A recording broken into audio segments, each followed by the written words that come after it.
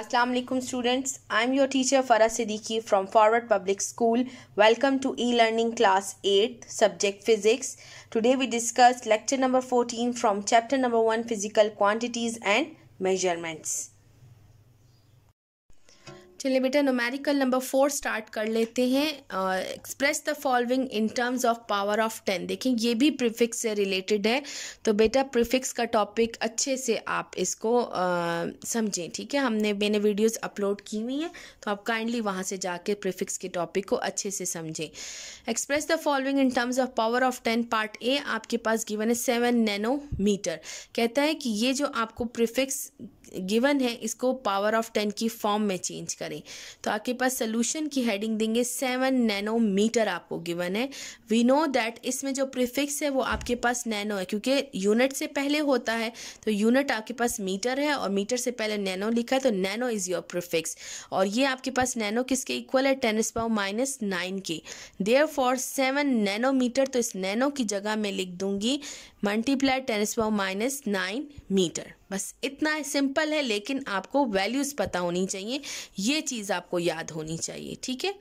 Part B आप देख लें ninety six mega watt solution की heading heading 96 mega watt we know that अब इसमें वॉट से पहले मेगा है तो मेगा इज़ योर प्रिफिक्स और वो किसके इक्वल है? टेनिस्ट पावर प्लस सिक्स के।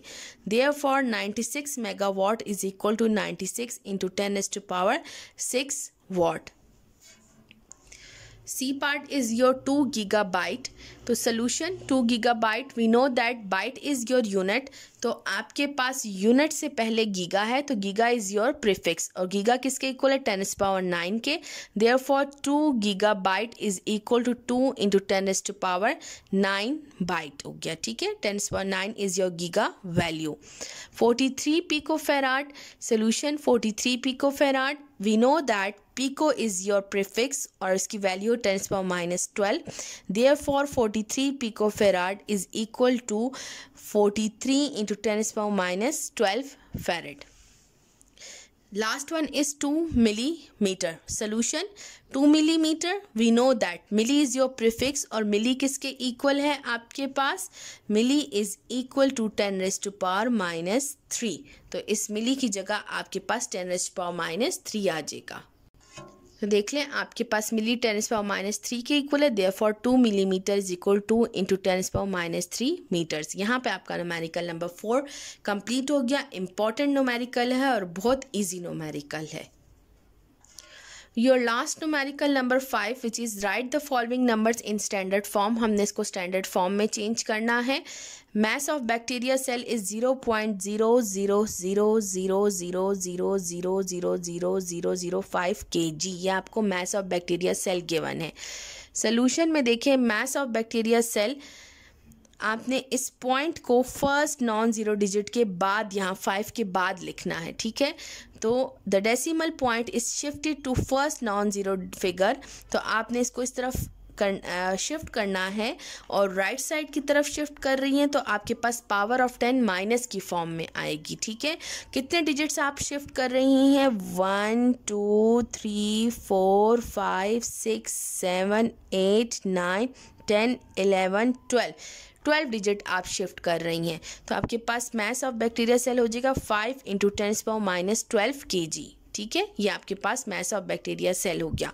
रिज़ल्ट की हेडिंग दे दें mass of bacteria cell is five into tens power minus twelve K G आपके पास आंसर आ गया।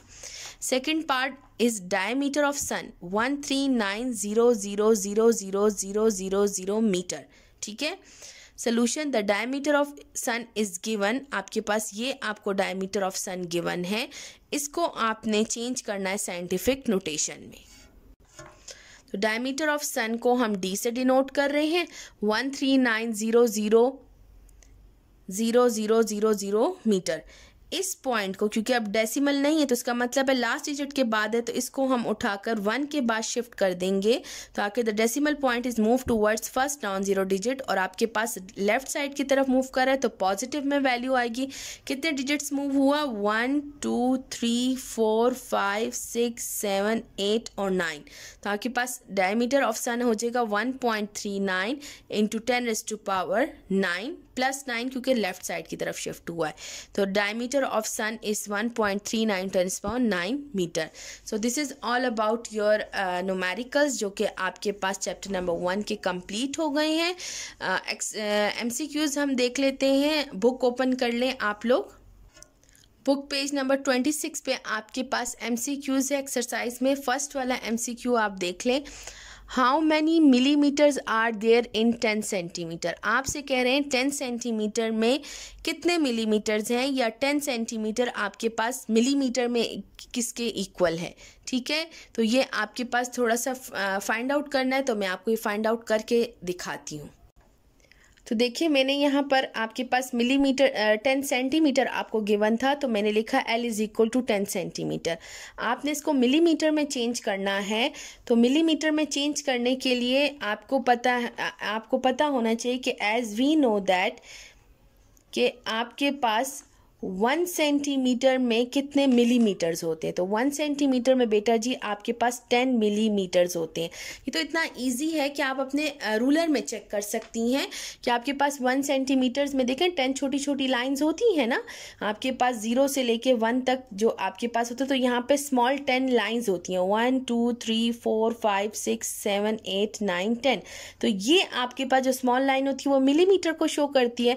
तो वन सेंटीमीटर्स में ये कितनी ज़ीरो से लेके वन सेंटीमीटर में ये टेन लाइंस होती हैं। तो आपके पास one centimetre is equal to ten millimetres.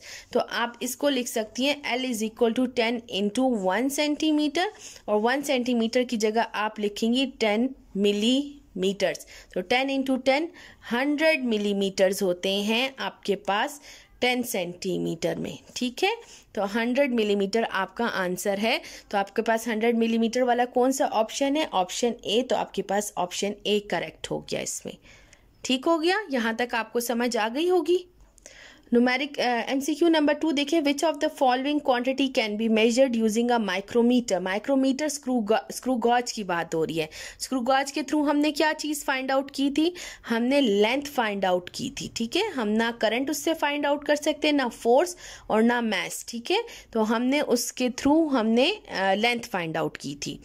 Third वाला देखें the instrument best measure the internal diameter of a pipe किसी भी पाइप का इंटरनल डायमीटर फाइंड आउट करना है तो हम वो किसके थ्रू कर सकते हैं? स्क्रू गॉज के थ्रू नहीं कर सकते, उसके थ्रू सिर्फ़ हम डायमीटर और लेंथ फाइंड आउट कर सकते हैं, ठीक है? वन ईयर कैलिपर में आपके पास इंटरनल डायमीटर फाइंड आउट कर सकते थे थ्रू अपर जॉस तो हम यहाँ पर आपके पास आंसर हो गया vernier caliper metre rule के थ्रू हम सिर्फ़ लेंथ फाइंड आउट करते हैं मेजरिंग टेप से भी हम आपके पास लेंथ वर्थ या हाइट फाइंड आउट करते हैं, ठीक है? Which prefix represent a largest value इसमें से कौन सा प्रिफिक्स है जो कि लार्जेस्ट वैल्यू को डिनोट करता है? अगर नहीं याद तो आप बेटा टेबल से लिख लें टेनिस मेगा आपको टेन टू पावर सिक्स है giga ten to power nine है। पीटा आपके पास ten raise to power I think so fifteen है और एक्सा आपके पास ten raise to power eighteen है। तो आपके पास ten raise to power eighteen greater value है लार्जेस्ट वैल्यू तो एक्सा आपके पास यहाँ पर करेक्ट हो गया।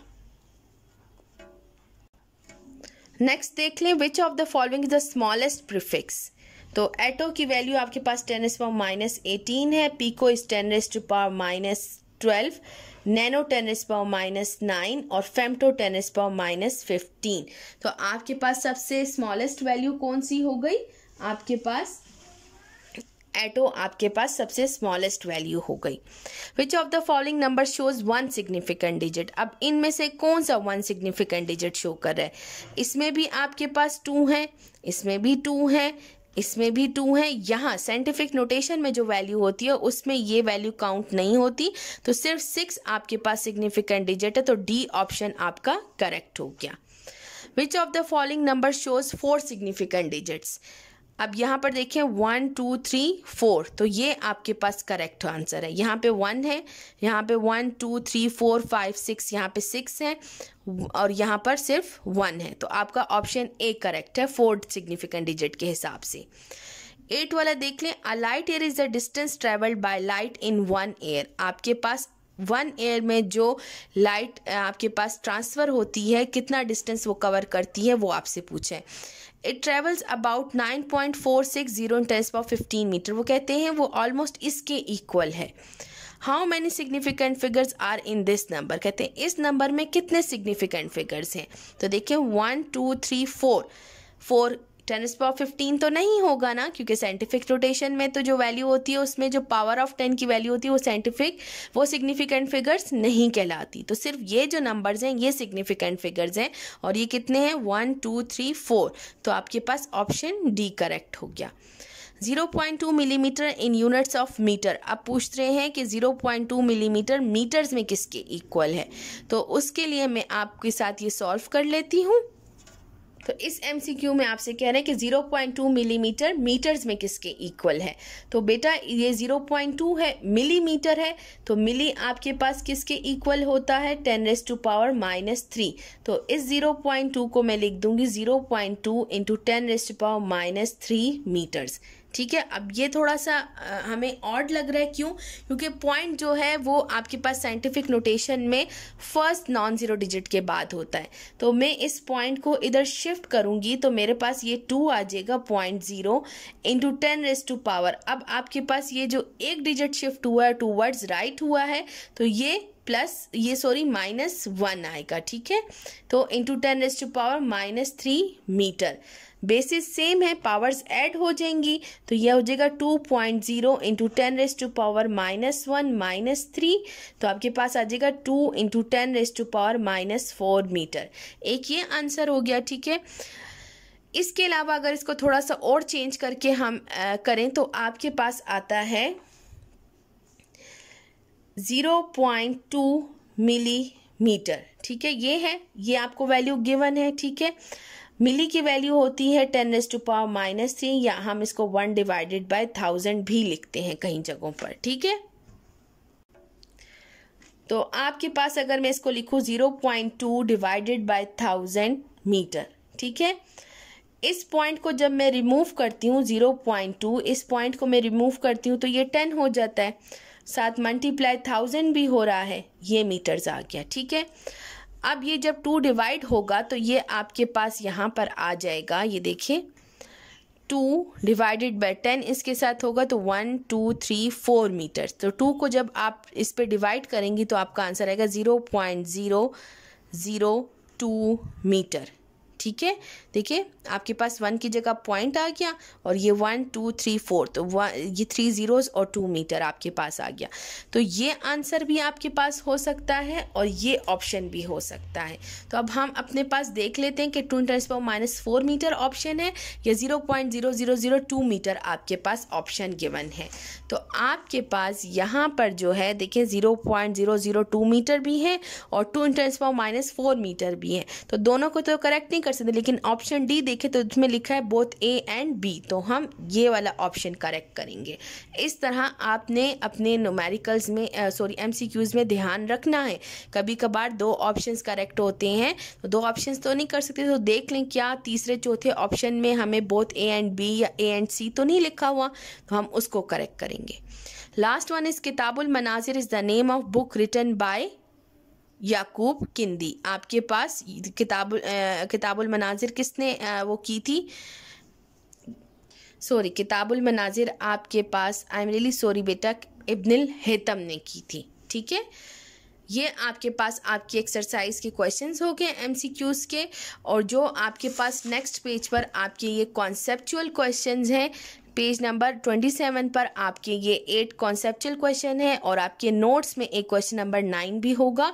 तो आपके टोटल इस चैप्टर में नाइन कॉन्सेप्चुअल क्वेश्चन हैं और कम्प्रीहेंसिव क्वेश्चन आपके पास सेवन uh, बुक में है। इसके अलावा हमने टॉपिक वाइज आपके लिए नोट्स में किए होंगे। तो काइंडली बेटा आप लोग नोट्स से ये कॉन्सेप्चुअल uh, क्वेश्चन और कम्प्रीहेंसिव क्वेश्चन देख लीजिएगा। So this is all about the chapter number one physical quantities and measurements आपका यहाँ पे topic chapter number one complete हो गया तो मिड टर्म का जो चैप्टर नंबर वन है, वो हमने कंप्लीट कर लिया है इन नेक्स्ट लेक्चर से हम चैप्टर नंबर टू स्टार्ट करेंगे। So thank you stay home stay safe अल्लाह हाफिज़।